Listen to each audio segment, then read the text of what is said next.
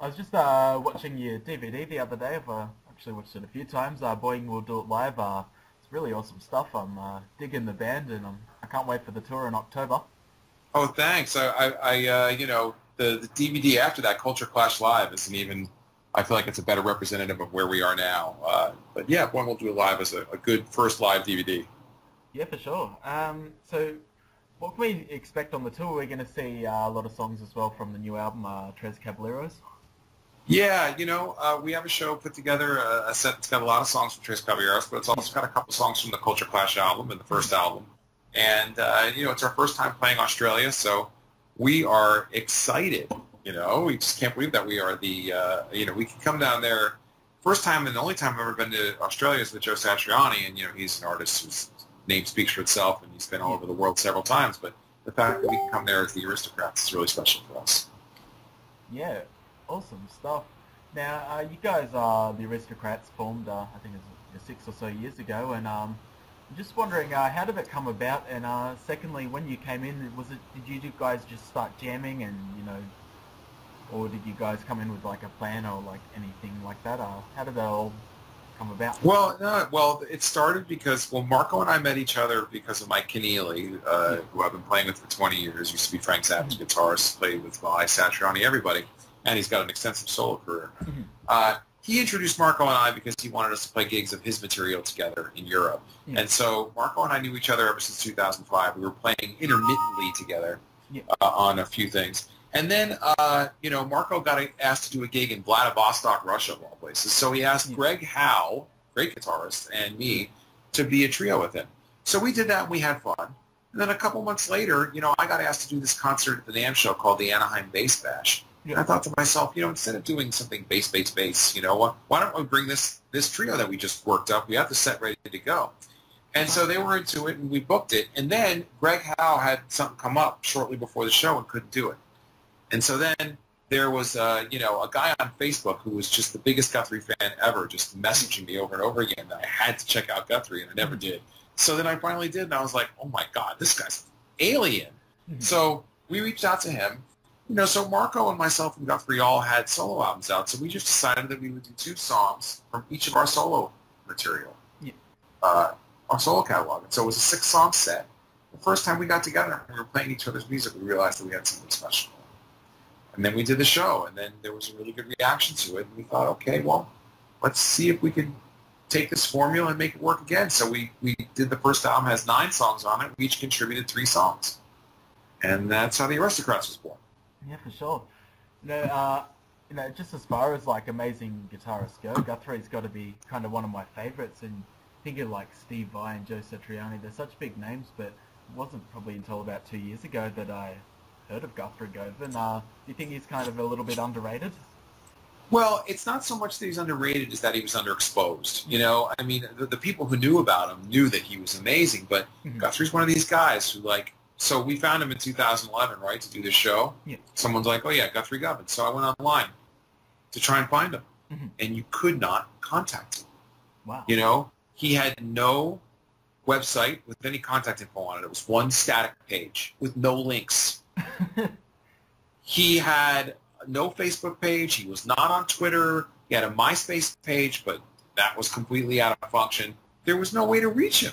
So he's not one of these guys who ever got into like self-promotion social media. He's very private. Yeah. You know, he, he keeps to himself and he's quiet. He just puts it all into the music. So I think that's part of the reason why some people didn't know who he was, you know. Uh, and also, you know, the reason that some people didn't know who he was, on the other hand, is because he had been hired by this company to make some YouTube instructional videos for them. Yeah. And so there were some underground videos of him circulating around. And some people knew who he was, but there I was in the United States of America already having played with Joe Satriani and Steve Vai and Mike Keneally, and I didn't know who he was. And it's like my job to know who these people are, right?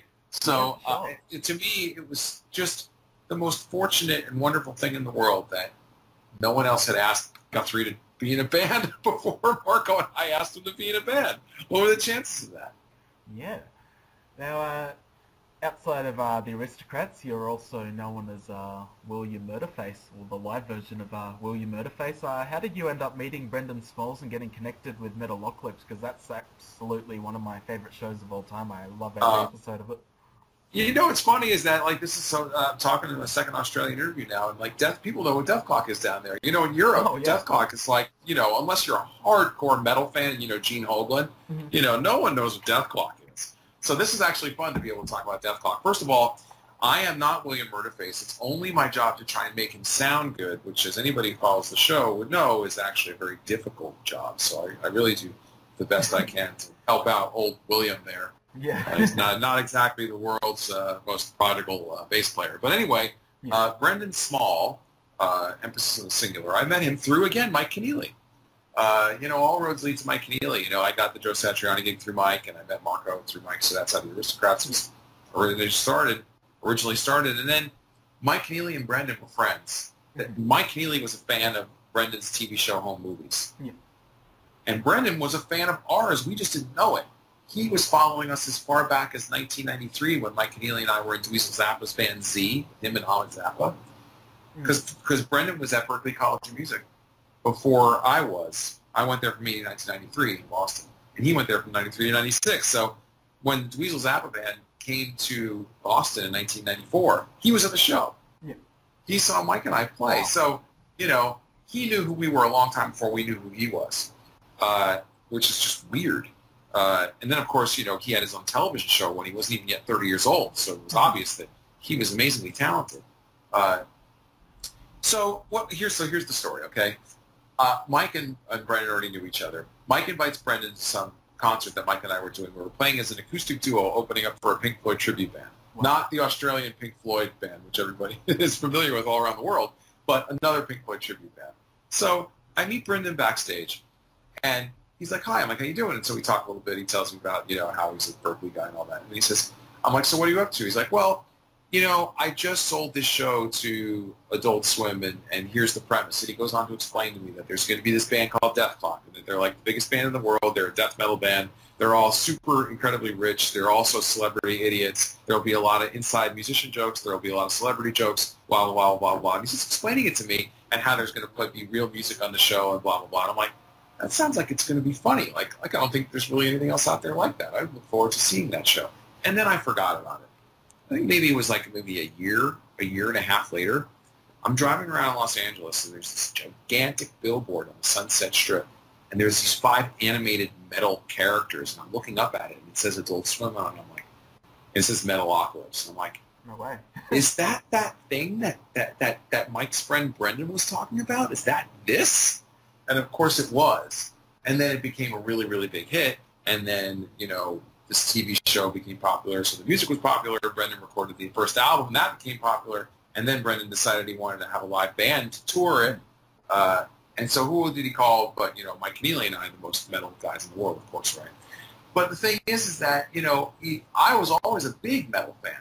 I just never got a chance to be in a metal band because I was always playing gigs with guys like Steve Vai and, and other kind of like instrumental rock muso guys, which is great. But I'm a, I was a huge fan of the Big Four thrash metal growing up, Mhm. even classic stuff like you know new wave of British heavy metal, Judas Priest, Iron Maiden, Black Sabbath before that. So the idea that I was going to get to be in a metal band was like, fuck yeah. Uh, funny story is, uh, is actually, I don't, I'm not sure if they're still gigging, but there's a local band in Brisbane, uh, they're a Dethklok tribute band, they're called Clock Blocked. And, Did you say co- it's cock clock blocked? yeah, Clock Blocked. well, I, I was going to go to the gig and I didn't go, and then, uh, someone told me apparently Brendan Smalls was in town and he, uh, came up on stage and did a few songs with them, and I was so bummed out I missed it, but, uh, He was in don't know if it was Australia. That's right. Yeah. Yeah. Oh, I didn't know anything about it until after it all happened, so I, I missed out on that show. But uh, it would have been awesome. Uh, Uh, it should be super, super fun. yeah. You know, I- it's so funny. There's a, there's an ongoing joke about how everybody calls him Brendan Smalls. It's actually Small. small. And so whenever, whenever, whenever Brendan actually is like, you know, he'll be talk, impersonating someone who's talking to him. So Brendan Smalls, tell us about this. Is you know, I'm one of those guys. if you want, if you want to trigger a good conversation, you, could- you could do that. yeah, for sure. Well, if I ever get to interview him, I'll I know what his real name is now. Yeah, there you go. yeah. Uh, But no, the whole Dethklok thing is, is really great. Brendan is an extremely funny, talented, cool dude, and Yeah. you know, only someone who was, you know, had some special insights on life as well as talents in both the television and music realms could have created a show like Metalocalypse. Yeah, definitely. I'll just ask you one more question about uh, Metalocalypse because I know they're doing a fundraising thing, and I know Metallica even donated money, and I think I might have donated money, or I definitely, yeah, I think I did. And um, I'm definitely keen to do that, and they're going to get it back on Adult Swim, and I think they bounced it back. Uh, have you talked to him lately? Do you know what's happening? Is it going to come back? Because, you know, I'd pay hundreds of dollars to see another season of that show. Well, that's above my pay grade. You know, I don't know, uh, you know, how any of that stuff works. You know, television networks and lawyers and licensing and all that. That's all between Brendan's agents and their agents and all the rest of the stuff. So I have no idea what's happening there, but I do know that you know Brendan is excited. You know, has always been excited about the musical aspect of it. Uh, and so maybe there will be something to say about that at some point later on, but I can I have nothing to add, unfortunately, about the whole television world. Oh, well, it was worth a try to get some, uh, squeeze some knowledge out of you. Uh, anyway, yeah. we'll go back to talking about your, your other projects. Uh, as, a, as we're saying, you've played with everyone over the years, uh, Mike Keneally, uh, Dweezil Zappa, Joe Satriani, the Aristocrats. When you look back through all the artists you performed with, who have been, like, you know, the top three or four favorites? Uh, well, God, you know, I don't really want to get into like this was my favorite, that was my favorite. Uh, all the gigs that I've had, have, have, you know, so I know this is a politically correct answer, but I'm grateful for all the gigs that I've had. They've all been great in different ways. You know, Steve Vai was really, you know, into like kind of pushing you as a player and making, getting the best, the very best out of you. And, mm-hmm. and, and Joe Satriani is kind of about just laying back and grooving and, you know, making sure that everybody's kind of loose and having a good time while still delivering a very consistent, simple, kind of more melodic, structured song. Mike Keneally is about anything can happen at any time. The Aristocrats is also about anything can happen at any time, but in a different way. Uh, you know, it's all contributes to this overall uh, patchwork quilt of music that I'm very fortunate to be a part of. Yeah, definitely.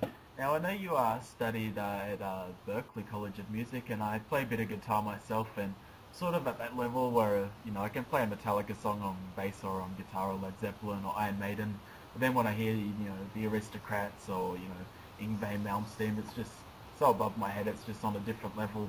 Do you recommend going to college to, you know, advance your skills, or is it, you know, what was the thing that, you know, really pushed you to the next level of music? Oh, well, you know, Berklee College of Music was a big part of it. I mean, I was a ne'er-do-well, miscreant teenager, you know, who was content to, you know, to have some basic ability, but wasn't really practicing very hard and wasn't making the most of it. And then I got, you know, I got to Berklee and I realized that, you know, I was going to really have to step up my game in order if I wanted to be a professional musician because everybody there, not everybody there, but a lot of people there were very, very good. And they were from all over the world. So, you know, that was a part of it. But also every gig I've ever had has taught me something more about being a musician, you know, whether it's technical or sonically or just in terms of being a human being.